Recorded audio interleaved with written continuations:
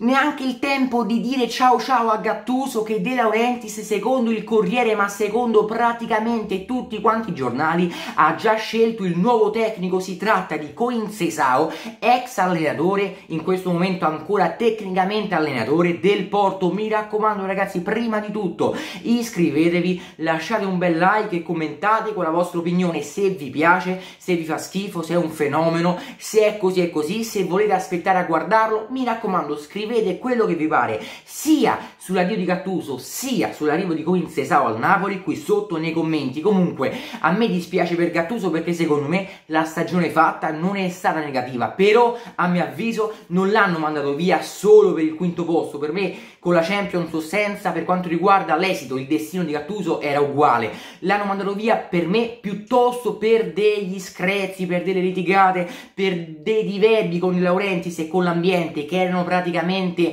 impossibili da ricucire, quindi il divorzio era inevitabile. Per quanto riguarda invece Coin Sesao, ve lo dico subito, a me non fa impazzire e secondo me si rischia di guardare, di vedere in Italia un Fonseca 2.0 anche se il modo di giocare di Coin Sesao e di Fonseca è totalmente diverso, sono praticamente agli opposti, agli antipodi. Coin Sesao è uno che non sceglie quasi mai di impostare dal basso, palla lunga a Marega, Marega inventa di qualcosa e basta, questo è in breve, molto molto breve il gioco di Coin Sesao, poi comunque a parte gli scherzi è un gioco molto molto più raffinato. Coin Sesao ha delle caratteristiche che anche se non mi piace eh, come tecnico, però io gli riconosco sono molto importanti. Uno, il fatto di essere camaleontico, il fatto di sapersi adattare bene a ogni circostanza, a ogni avversario avversario Queen Sesao non è un Sari, non è un integralista, non è uno solo 4-3-3, è uno che si sa adattare molto molto bene, o gioca a 3 o gioca a 4, comunque sa vedere bene le partite e sa cambiare bene modulo anche a gare in corso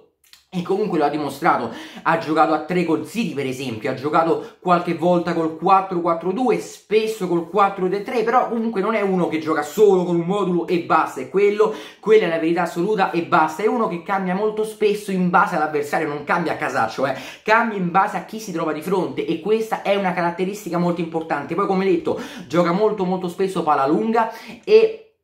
per quanto riguarda i difensori devono essere bravi anche a impostare, non solo solo eh, ragazzi i difensori che basta, devono dare i calci, anche se Pepe, uno pensa il contrario perché Pepe è praticamente un macellaio, però non è il difensore che deve solo menare, deve solo difendere, deve anche avere intelligenza tattica e saper guardare avanti, nel vero senso della parola, deve saper lanciare bene per gli attaccanti, per gli esterni, anche gli esterni sono molto importanti e si richiede agli esterni, per quanto riguarda il gioco di Coin Sesao, una grande preparazione fisica, devono essere bravi anche a sacrificarsi indietro, non sono terzini, non sono esterni di centrocampo, col 4-3 sempre, però si devono saper sacrificare molto molto eh, bene, comunque devono saper giocare anche un po' più indietro, però ragazzi ripeto non mi piace tanto Queen Sesao, sia a livello umano, eh, lo dico francamente non mi è simpatico per niente, però anche a livello tecnico e tattico non lo vedo come uno da Napoli, per me Spalletti sarebbe stato il top, Allegri ancora di più, ma anche Spalletti sarebbe stato tantissima roba per il Napoli, così come per la Roma, così come per la Juve. Spalletti per me è un tecnico vincente, e, o comunque un tecnico che con la squadra che ha sa tirare fuori il meglio, valorizzando anche molti giocatori. E per la rosa del Napoli, Spalletti, secondo me, sarebbe stato il top 4-2-3-1 e si vola se c'era Spalletti. Con Qui Sesao, invece, ragazzi, per me la questione è diversa, non lo vedo molto bene e secondo me rischia di diventare un Fonseca 2.0, anche se, come detto, Fonseca Fonseca gioca spesso palla a terra, costruzione dal basso a differenza di Coinsesao, però io vedo molte similitudini, è vero, è anche vero che Coinsesao ha giocato da noi, ha giocato con l'Inter, ha giocato col Parma, ha giocato con la Lazio, quindi l'ambiente Italia, la Serie A la conosce bene, però io non vedo assolutamente un passo in avanti del Napoli, anzi io rispetto a Gattuso vedo pure un passo indietro. E io quest'anno il Napoli, lo sapete, l'ho stimato tantissimo così come ho stimato fino all'ultimo istante Gattuso come tecnico del Napoli. Però ragazzi per me questo progetto non è migliore di quello fatto con Gattuso, anzi secondo me il Napoli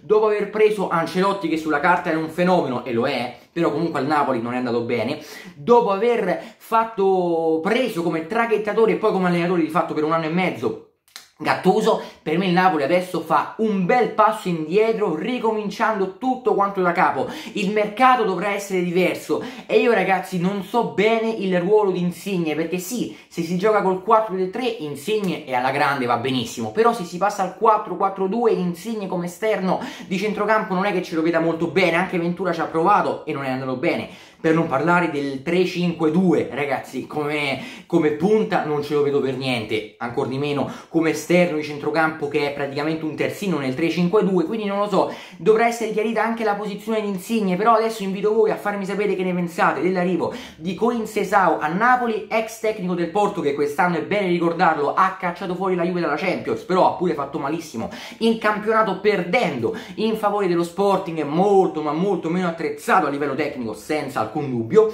Quindi eh, iscrivetevi, mi raccomando, commentate con la vostra opinione e lasciate un bel mi piace. Ciao a tutti, ciao ciao!